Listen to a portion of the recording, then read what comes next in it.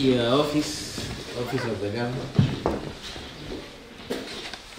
And uh, Wait, Marana, please. Oh.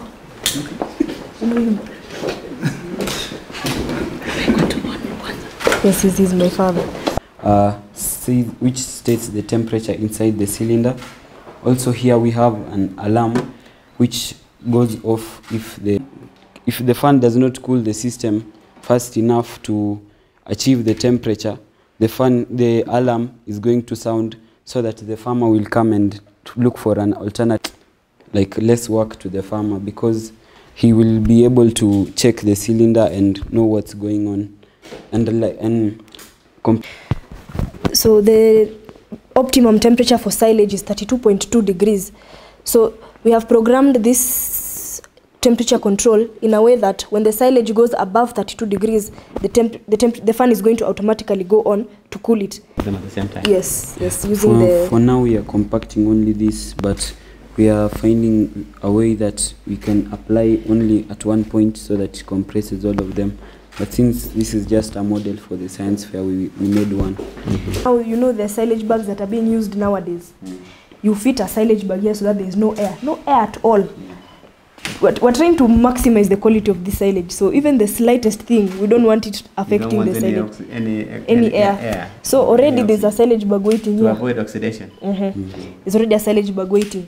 So you just remove this. No, this is already removed. So you put the silage bag. Then you just push the piston. You push the piston. The silage is pushed into the silage bag. You close it and you store it for many years, uh, however long you want it. ICT and uh, whatever will be will still be useful in this because you will perhaps connect this one into a computer system. More, more to me is I see this as a, a mechanical innovation, not uh, electronic solution to some of the challenges that we have. For now, most of the people are still thinking So when the temperature goes higher, the fan is going to go on so that it can cool this system to achieve the parameters of this press 2 for this so we'll program it in a way that for temperature in if this we're also going to build a shower over this to to cool this system. So that if it's very important. So what we are doing here is something that is aiming at achieving even the millennial goals.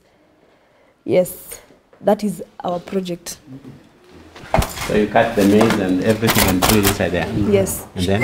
Then mm. we have a piston here for even compaction of the silage to increase the surface area for fermentation. So we came up with the Mailel automated silo, which is aimed at efficient production of silage. Why, sh- why should we have efficient production of silage? This is because we'd like to enhance the food security in Kenya. We'd also like to lessen the labor used to make silage because it's a very manual process, which many people are not familiar with to start with. Also, we'd like to uh, increase the production of animal products to feed the nation and we'd also like to reduce the costs of making silage.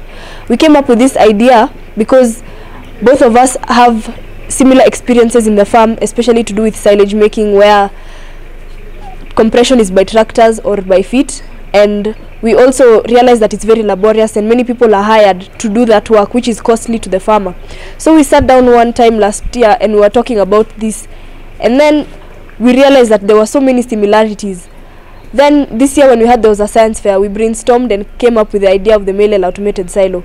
Even in times of famine we can be able to store this silage to feed our animals. And one of the one of the problems we're facing here in Baringo especially is when it's dry many animals are dying.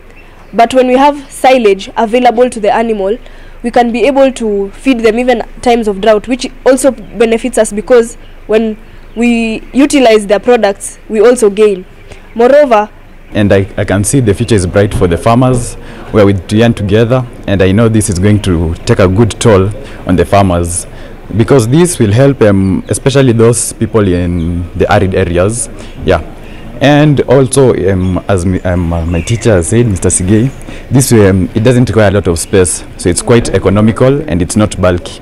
Yes this will be good Um, so this machine works. Um, it has a piston that works under the principle of transmission of pressure from our physics, and uh, it is a cylinder that is made of stainless steel, because stainless steel does not rust and it has a higher heat retention capacity which is required for silage making.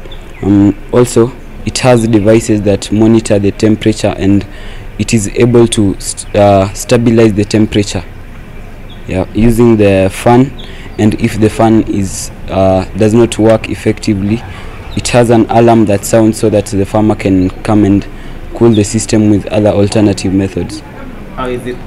and uh, the idea of agriculture and uh, helping the country acquire food security is very important to everybody. So as a school, if we can make some little contribution uh, towards the same, we feel proud about it.